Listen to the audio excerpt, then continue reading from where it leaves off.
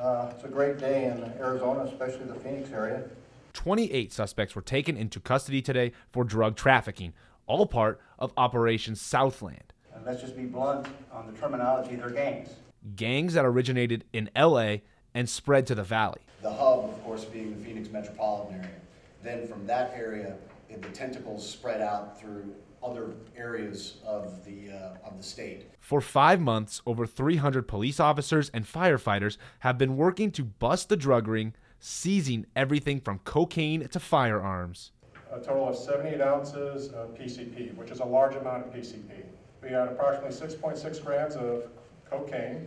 We seized 10 vehicles during the course of this investigation, and the amount of money that has been seized right now is at approximately $27,000.